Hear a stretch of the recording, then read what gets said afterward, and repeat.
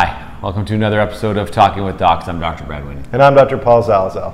Say, Paul, we're going back to school. Okay, Rodney Dangerfield. We're going to do statistics with docs today. Talking with docs about statistics. Yeah, so nowadays more than ever, the internet provides us with Yeah. access to so much medical and scientific information. Tons of it. Some of it has jargon. Yeah. Jargon that is not familiar to sometimes us and even to other people. So, Yep. we're going to talk about today some really important, commonly used terms that talk about the nature of medical treatment and how it impacts outcomes. And we want you to get your medical information from actual studies. Don't be afraid to pick Yes. up, um, you know, Like New England- Facebook. No, no, no, Oh. no. That's what Twitter. I'm talking about. No, Not I'm Twitter. talking about the medical journals. New Okay. England Journal of Medicine. Okay. British Medical Journal. JAMA. I like to read JAMA in my pajamas, okay? Some articles put you right to sleep, but other ones have like interesting points. And especially nowadays, especially with all the COVID science out there, Yep. don't get your science from mainstream media. No. Okay, mainstream media, I'd hate to be mainstream media. No, they're hated Your on. hands are like tied. Yep. You're, you're, what you can say is often not what you want to say. Plus, you gotta have a story too. You want you gotta have Yeah. something that teases people to read or to watch or whatever. Don't get your science from there. Try Okay. reading some medical journals. To do so, we're going to give you some statistical basics, Okay. real basics. Okay. So we're first going to talk about risk reduction, and this is a really common theme, particularly recently in some of the videos we've done when we talk mm-hmm. about mm-hmm. cholesterol mm-hmm. medications or medications effect on whatever someone is measuring or that it's called an outcome. So that could be a blood test, it could be an adverse event like a heart attack or a stroke. There's lots of different outcomes. So risk reduction. So there are two main ones. There's absolute risk reduction and relative risk reduction. Now, Paul, what's the difference? Well, relative risk reduction means is this going to prevent my cousin from catching this disease? That is not true. Not true, just joking. So, so like Brad said, you have a study that looks at a treatment and how, how that treatment affects the outcome. And we call the risk of developing that outcome, if it's a bad thing, uh, that's your risk. Your absolute risk reduction is what percentage reduction are you seeing in that disease happening? Right. Okay. So if you get a treatment, so say for example, we're going to use an example. Uh, uh, can I use an example? yeah, sure. I got a great study. Okay, this here is we a go. study been done to. So this has been done. Study? No, it's never been done. Okay. Let I, as you know, I'm always trying to find a medical benefit to the chicken wing, eating chicken wings. Okay. Sure. So my hypothesis is that if you eat chicken wings, it'll reduce your incidence of chicken pox. Okay. Okay. This is our hypothetical study. Okay. So let's say we take for for the example of what we're talking about today, the risk reduction. Let's take we have a study with 2,000 people in it. Okay. Okay. 1,000 people is the control group. Yep. The other 1,000 people represent the treatment group. Okay. And the treatment is to eat chicken wings once a week. Okay. And we're and the outcome we're measuring is the incidence of chicken pox. Okay. Okay. This is totally hypothetical. Chicken wings don't prevent chicken pox. Okay. The So results are going to show that, I suspect. well, let's see. So in your control group, let's say I can give you the numbers, and you tell me the absolute risk reduction Okay. relative risk reduction. So in my control group, 1,000 people uh, didn't eat chicken wings, and one in a thousand got chicken pox. Okay. Sorry, two in a thousand. Two hundred thousand got chicken pox. Two in a thousand of the control group got chicken pox. Okay. In my treatment group, Right. they ate chicken wings. Doesn't Yeah. matter, mild, medium, hot, honey, garlic, dry rub. I'm getting hungry. You realize we're going to be accused that we're funded by Big Chicken. It could be. we would actually probably by beef, Yeah. or chicken. So uh, in that thousand, one in a thousand Okay. got chicken. wings. So the people who weren't treated didn't eat the chicken wings. Two hundred thousand. Okay. So So here's the thing. So the difference between absolute and relative risk reduction. So the absolute reduction is two to one in a thousand people. So one in one thousand people, that's the reduction. So one person less got it Yeah. in a total of a thousand people yeah, that and- were treated. Yeah. So that is 0.1 percent. Yes. So the absolute risk reduction by eating the chicken is 0.1 percent. Right, So you it- might say, forget it. What, that, that doesn't work. Right, but if I'm trying to sell you a chicken wing, I'm like, well, actually, if you look at the study closer, the relative risk reduction when you compare them is actually a 50% reduction, right? Because you went from two people getting it to one person getting it. So you say your relative risk reduction is 50%. And this is where sometimes the way the information is conveyed can be misleading.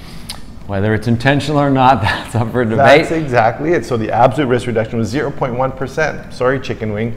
Then you look at it and say, no, but the relative risk reduction was 50%. Well, that's a lot. Clearly, we reduced the risk of getting chickenpox by 50%. Let's eat some chicken Let's wings. eat some chicken wings. And so the difference is if you're a pure scientific researcher, you should be presenting all that data, the absolute risk and the relative risk. If you're a sales and marketing person, you don't care about the absolute risk, you're going to present the relative risk because you want to sell your product. The problem is when your scientific writers come in and they say that um, oh, oh, the relative risk was 50%, and they put that in their paper and not the absolute risk, and they start acting a bit like sales and marketing guys, Right. or your sales and marketing guys are trying to present you scientific data, and they're thinking they're scientists. It's when that sort of gray area occurs. Right, and one and one other uh, stat or one other term that kind of combines the two is something called the number needed to treat. So NTT. this also addresses NNT. the yeah, NTT, NNT, NNT. NNT addresses the, the incidence or how common of a problem this is. So if something is really, really uncommon, obviously it's really hard to lower the risk of getting that. If one in a million people get something, it's really hard to reduce the risk of getting that. Whereas if something's really, really common, sometimes a smaller intervention can have a bigger effect. So the way that you figure that out is you use a combination of um, the absolute risk and the number that have it. So for Paul's chicken wing example, a thousand people were involved in the study. Two people had it in the control group, one person had it in the treatment group. So one person less than a thousand. So the number needed to treat in order to reduce one case of chickenpox is actually a thousand. Whereas, for example, if say 500 of the 1,000 people got chickenpox in the non-treatment group, and 250 people got it in the chicken wing group. So the relative risk reduction is still 50%, 500 to 250, but the number needed to treat would actually only be four because you're reducing cases, 250 cases per thousand. So 1,000 is divided by the 250 and you get the number of four. So then you're like, well, now you know we only have to treat four people with chicken wings to save one case of chickenpox, whereas before we had to treat a thousand of them. And this is a very common thing with medication, particularly in preventative medicine. How many people do you have to give medicine to to prevent, say, one heart attack or one case of diabetes or one case of cancer? And this all guides, uh, particularly preventative guidelines for governments. That's right. So the number needed to treat, or the NNT, uh, the lower the number, the better. Okay, Right. if you're if you're that medication, because then you you're you're going to have a good effect Right. with less doses distributed. And the NNT is very closely related to the absolute risk reduction, Right. Not the relative risk reduction. So the take-home message is beware of relative risk reduction when the number is really high. You want to dig a little bit deeper and find out the absolute risk reduction because that's going to help guide decision making that for you as well as for your family doctor. Like we've talked about for all types of medication, medical treatment, sit down and say, listen, why do you think I should take this? What are the associated risks? Right. What is the potential benefits? And then make a decision together. Okay, and for those of you that stuck it out this far, A couple other things. we'll yes. give you some bonus terms. bonus terms. confidence intervals. Okay. That is a status statistical method where uh, you apply it to your results uh, that uh, suggest whether or not your results are due to chance or not. Right. And usually we set these confidence intervals at 95%. So you want to be 95% sure that the results that you're presenting are not due to random chance and are actually due to the effect. Uh, and so that's, but that means 5%, it could be chance. That's Right. why it's important to see this study repeated by different institutions, guys at Harvard, people at John Hopkins, uh, people at Caltech, people where everywhere are, are doing the studies, and you want to see similar results Yeah. to make sure it's not just due to chance, because your Right. confidence intervals are usually set around 95%. Then the two other things, meta-analysis, And systematic review. right? So sometimes when you have a study, so say you have a thousand people in a study, and you find some significant event or outcome, but because of this 5% rule, ideally the best studies are really well run studies like randomized controlled trials that have lots and lots of people that are followed for long, long periods of time.